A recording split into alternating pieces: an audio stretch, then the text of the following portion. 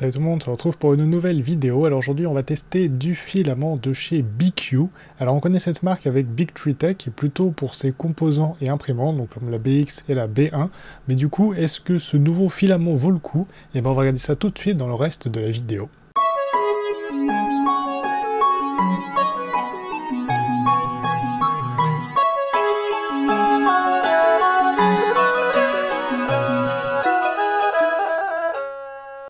Comme je le disais, on va tester du filament BQ de la marque donc des composants et imprimantes. Alors il faut admettre que de plus en plus de marques qui font des imprimantes font également du filament. Alors qu'elles achètent d'ailleurs très certainement auprès d'entreprises qui ne font que ça et les revendent donc sous leur marque avec leur finition et leur couleur propre. Et eh bien aujourd'hui on va voir si c'est un pari gagné pour BQ. Alors ce n'est peut-être pas nouveau euh, qu'ils font du filament pour les couleurs et finitions plutôt brillantes, mais je vous avouerai que si c'est le cas, je n'en ai vraiment jamais entendu parler. Mais ce qui est sûr, c'est que pour la finition mat, elle, elle est nouvelle. Et là on va s'intéresser au mat, mais également à la finition classique brillante. Alors pour information, j'étais en pleine préparation de cette vidéo quand j'ai eu la confirmation de BQ qu'il y a bien une des bobines que j'aurais dû normalement recevoir mat qui est retrouvé donc normal par erreur. Alors ils m'ont dit qu'ils avaient justement investigué pour que ça ne se reproduise plus. Alors déjà c'est marqué metal, euh, pour moi c'est plutôt made, donc pour le mat, et metal euh, plutôt pour la matière, donc il y a peut-être eu une petite erreur de typo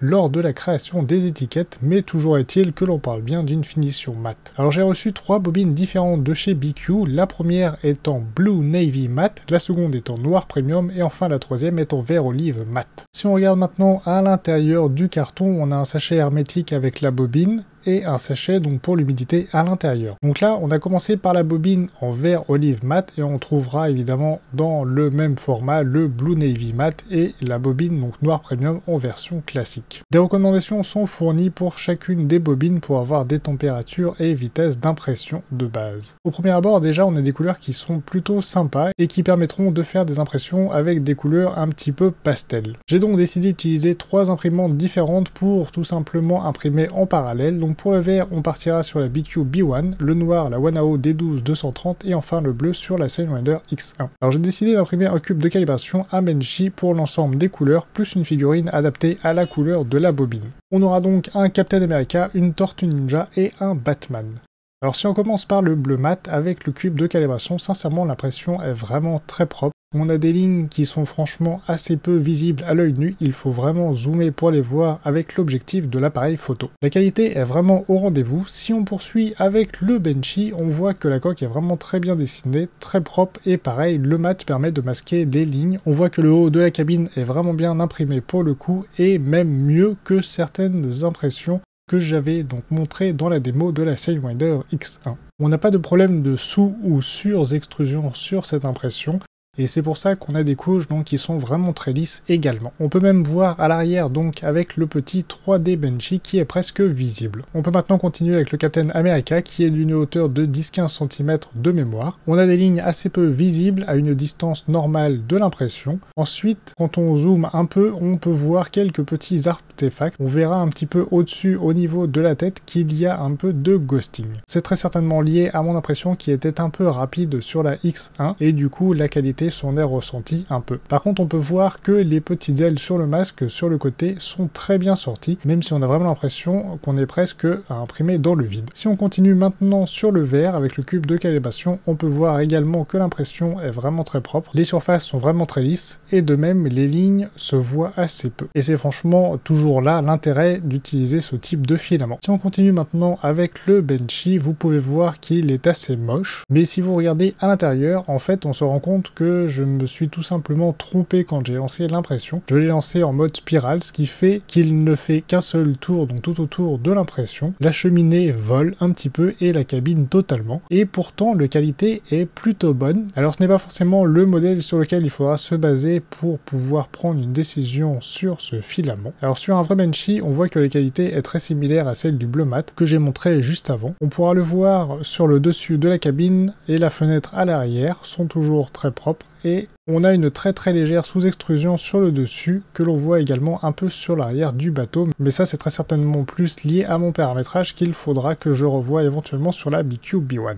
Enfin avec la Tortue Ninja on voit quelque chose qui est également très propre. On a un modèle qui est vraiment très détaillé. Alors les figurines elles sont imprimées en 0,16 mm de hauteur de couche et les benchy et cubes de la calibration sont eux en 0,2 mm. Sincèrement les lignes sont également très propres pour ce Tortue Ninja. On verra peut-être un peu plus les traces blanches au niveau des dents, là où on trouve le plus de rétraction extérieure. Par contre, on retrouve bien les plis dans le cou et les marques sur la carapace de la tortue. On voit même la cicatrice et enfin le bandana qui est lui en l'air, il n'y a pas de support en dessous. Enfin le cube de calibration pour le noir classique dit Black Premium, là on voit très sincèrement beaucoup plus les lignes et même ce qui se retrouve à l'intérieur. Pour le Benchy imprimé sur la Wanao D12 230, il est très propre, il est vraiment très lisse et là il faut vraiment jouer avec la lumière pour pouvoir voir les détails parce que le noir est vraiment très noir pour le coup et sombre, il absorbe plutôt pas mal la lumière, rien que de par sa couleur. Et il faudra donc jouer avec la lumière pour pouvoir voir les éventuels défauts de votre impression. Ensuite on a notre petit Batman assez énervé mais qui ressort plutôt bien imprimé en 0,16 mm de layer, de couche. L'extérieur est bien dessiné, on n'a pas de soucis, le niveau de la qualité d'impression est bien là et le rendu est plutôt sympa. Alors si vous cherchez bien évidemment du filament qui donne un résultat qui est plutôt brillant. Enfin, j'ai fait un petit modèle en plus qui s'appelle le Fatman, donc c'est un petit peu le Batman qui est passé par le buffet à volonté. L'extérieur est extrêmement lisse et peut-être encore plus que sur le Batman. Même quand on passe le doigt sur la surface extérieure du personnage, on peut sentir que c'est très lisse. Donc là pareil, il n'y a vraiment rien à redire dessus. Et maintenant je vous ai mis une petite vidéo avec les différents modèles que vous pourrez apprécier différemment.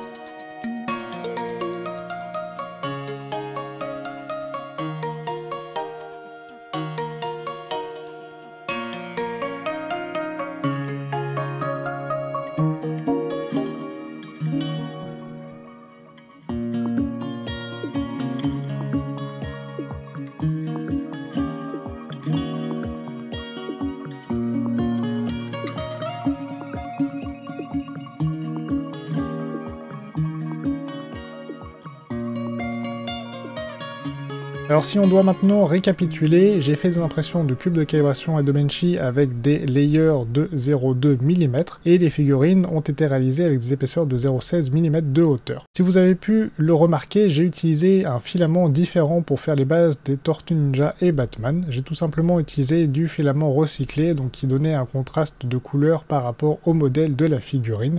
Alors je dois dire que je suis vraiment très fan du filament avec le rendu mat qui permet évidemment de masquer bien davantage les lignes de vos impressions 3D.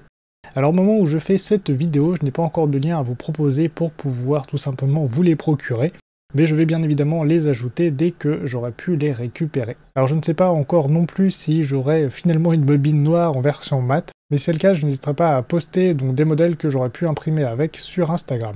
Donc si vous ne me suivez pas sur ce réseau, je vous conseille de le faire, surtout que je propose également du contenu un petit peu différent de celui que je fais sur la chaîne, plus en rapport avec des réalisations que je fais hors caméra. Même s'il y en a assez peu ces derniers temps, je vous assure que ça va revenir. Donc voilà, si vous aimez la vidéo, n'hésitez pas à la liker, partager, vous abonner si ce n'est pas déjà fait, en mettant bien évidemment la petite cloche pour être notifié des prochaines vidéos. Sur ce, je vous laisse et je vous dis à très bientôt dans une prochaine vidéo. Salut, salut